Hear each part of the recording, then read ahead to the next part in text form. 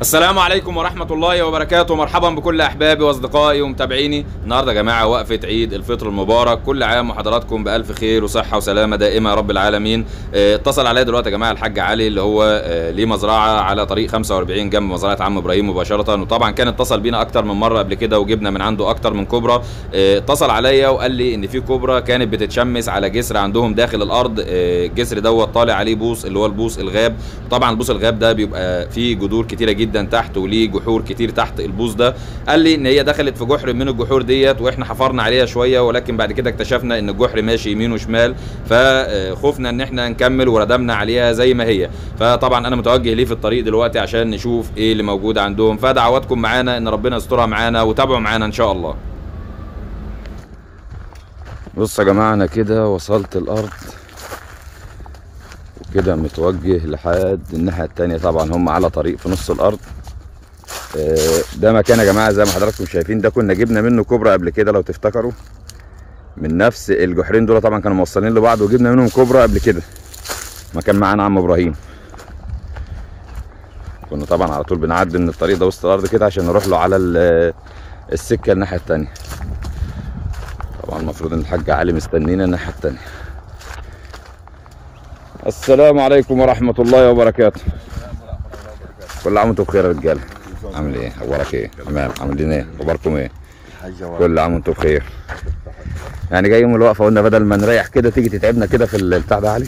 ولسه هنحفر. طب ما انت كنت لسه امبارح امسك كده ال- الماسك ده. إيه اللي حصل بقى يا حاج؟ اشرح لي. اللي حصل أبو حسام رن علي آه. فقال لي في كوبرا هي تورينا على أستاذ أحمد. ماشي. فجيت لقيتها في لقيناها قدام هنا في, جذور بوص تمام. فحرنا على قد ما نقدره طب انت ما اتصلتش عليا الأول ليه قبل ما تحفر ما حط رنين عليك ياما آه ده الصبح بقى كان التليفون آه. مقفول. الصبح.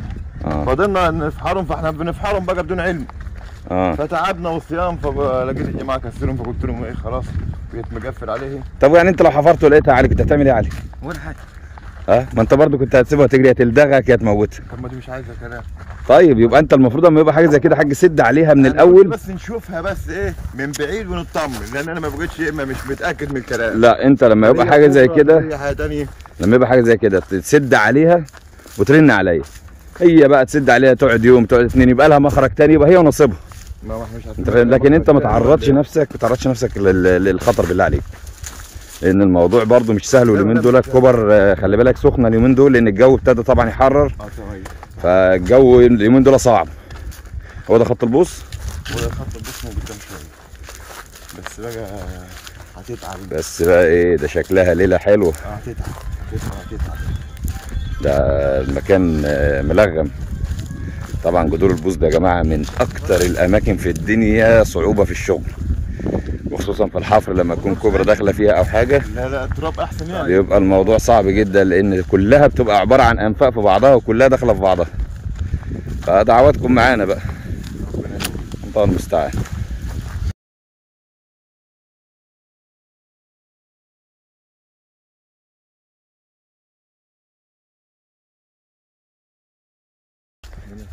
هنا؟ بسم الله. في مدخل هنا كده؟ آه. ومدخل هنا كده. كويس. كتمت حطيت حجر هنا وكتمت نشوف كده ممكن تكون طلعت ولا لا. إيه؟ الصخرة دي ما كانتش. مفيش أي علامة أنت. هي المشكلة بقى أنت عارف أنا خايف من إيه؟ آه. امسك كده هروح ابص من الناحية التانية؟ أنا خايف لا يكون ديت طالعة للناحية التانية. لا مفيش خليك واقف. أنا أنا بس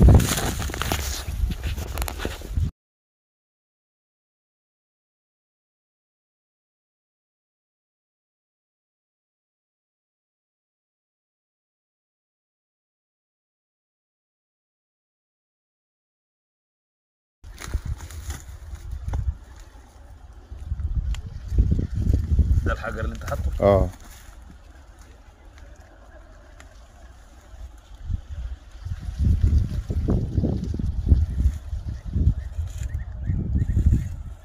انت عارف إحنا هنعمله إيه بقى؟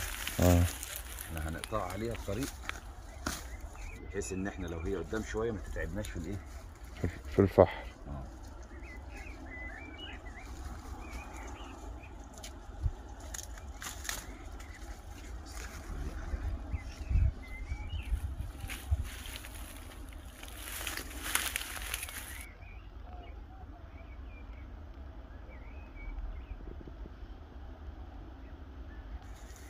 ادي اخرها انت هنا؟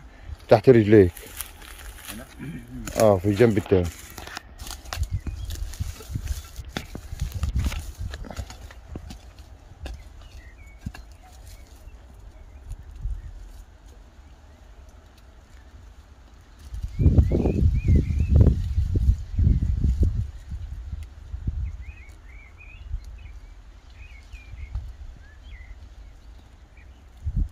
اخره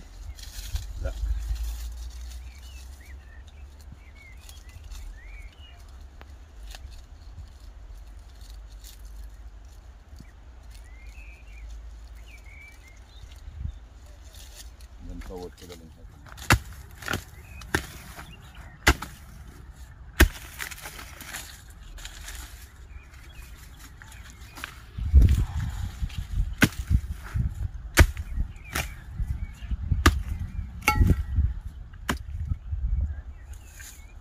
زي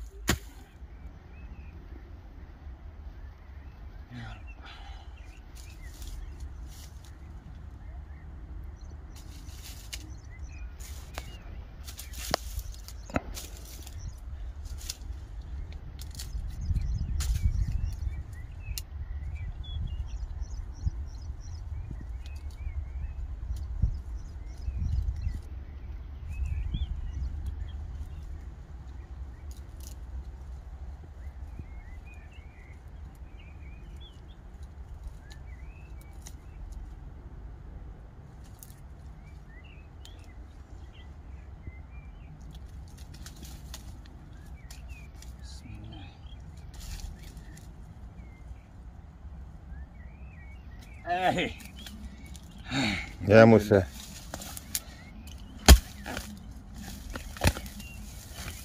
غالبا في الجنب آه. الثاني اهي اهي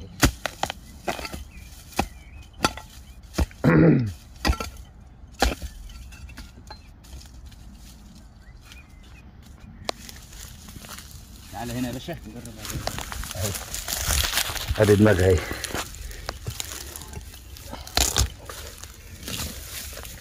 هات لي المسك من عندك كده. ادي حسام المسك ده.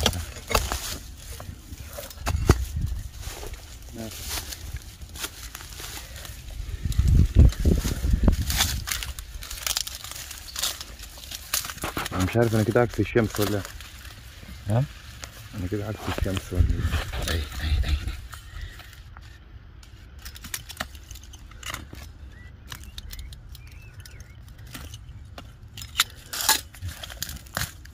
بص لي الناحيه الثانية بسرعة حسين بس حسام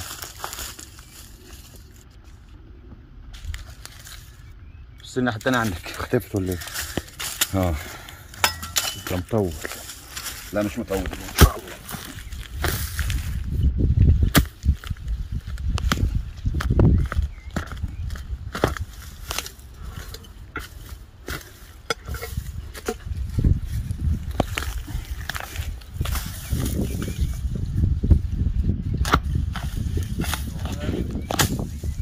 لا لا بس هو الضحك الضحك لسه آه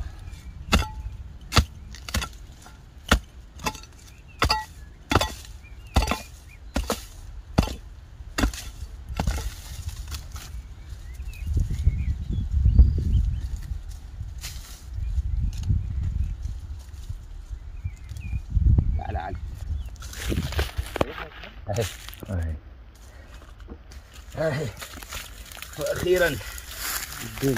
علي هي انتهي ولا؟ إيه؟ دك ولا كان؟ يعني انت عارفهم عني لا دي انتهي دي. بس أنا إيش تعرف الحاجة اللي ورا دي. واسألوا أهل الذكر كنت. آه بتلف على فكرة يا أستاذ أحمد هنا. هي شكلها أصلا ليها طلعة هناك. مم.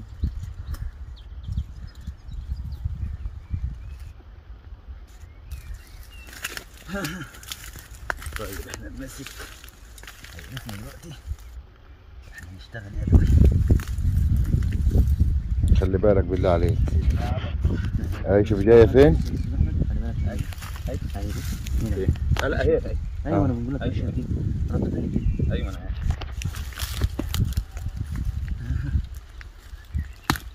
أيوه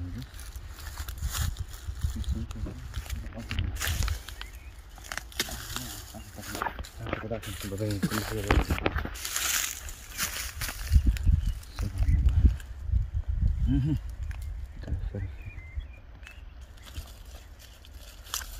اللهم صل على النبي. بص يا راجع التاني. آه كما رجعت إحنا بدأنا؟ مرحبا سبحان الله. يا صلاة النبي. بالراحة. تعال. ده حلو يا عم. تعال هنا تعال هنا علي. خليك من بعيد بس بسم الله. ده حاجة؟ حلوة خالص اهي. يبقى الحاج زي ما بقى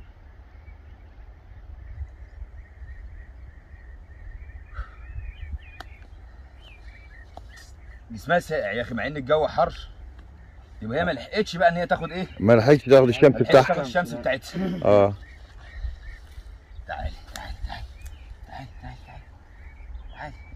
اوعى تسلم على طول. تعالي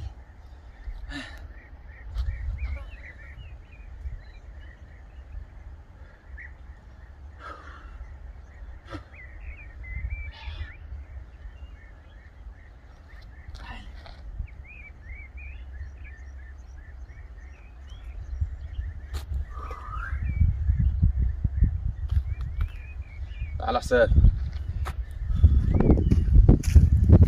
طبعا يا جماعة حسام الحاج ابو حسام هو اللي شاف ال- الكوبرا ديت واتصل طبعا على علي وعلي قعد يرن عليا كتير ولكن طبعا كان الصبح التليفون كان غير متاح فعشان كده حفر عليها ولما لقى الدنيا طبعا سحبه هو اتصرف صح إن هو كده إيه ما رضيش يكمل لأن هي لا قدر الله كانت ممكن تأذيه.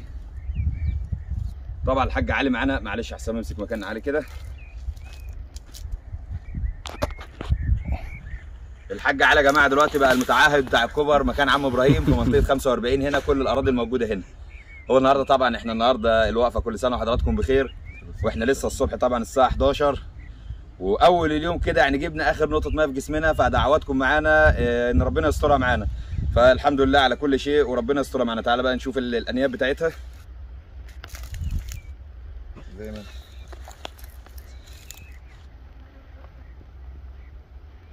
قرب هنا حسام؟ بصوا يا جماعة بيبقى هنا في ناب أهو.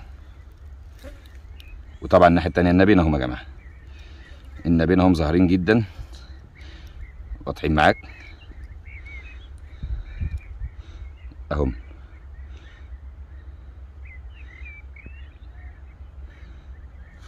وهي طبعا طولها تقريبا حوالي متر وأربعين أو متر خمسة وأربعين. ولكن طبعا سامة جدا. فربنا يسترها مع الجميع. إحنا هنكمل برضه لف في الأرض النهارده إن شاء الله. يومنا بقى نقضيه النهارده عند الحاج علي. عشان لو في أي حاجة عنده هنمسكها له بإذن الله. فدعواتكم معانا إن ربنا يسترها معانا.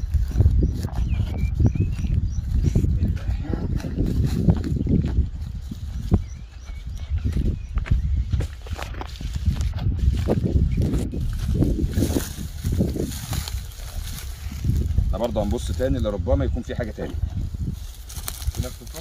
آه ما اليومين دول اصل موسم تزاوج آه ممكن يكونوا مع بعض. فانت الأيام دي ممكن تلاقي اثنين وثلاثه واربعة كمان مع بعض.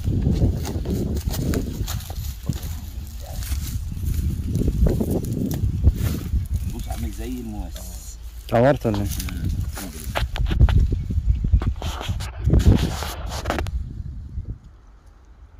بس كده خلاص كده نهايته كمل مع التاني. لا التاني ما أنا جبت آخره التاني.